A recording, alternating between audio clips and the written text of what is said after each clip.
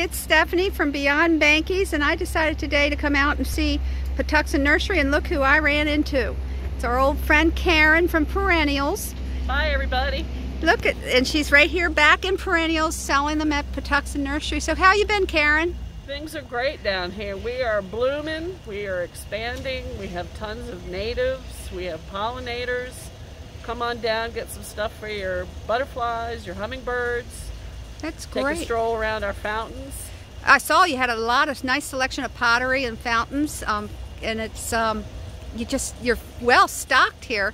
I'm very impressed, and Thank you. you know I, I know that our customers have wondered where you are and how you've been through this pandemic and everything. And We've had quite a few former Behnke's customers. I'm glad to see you guys. Come on down.